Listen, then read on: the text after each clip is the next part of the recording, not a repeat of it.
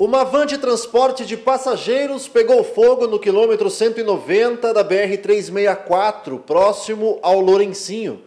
De acordo com as informações, o motorista seguia pela via quando começou a notar o aquecimento no motor. Ele estacionou a van e tentou conter o início das chamas com o extintor do próprio veículo, mas não conseguiu.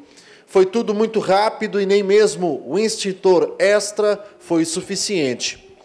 O corpo de bombeiros foi acionado, mas já encontrou a van completamente tomada pelo fogo.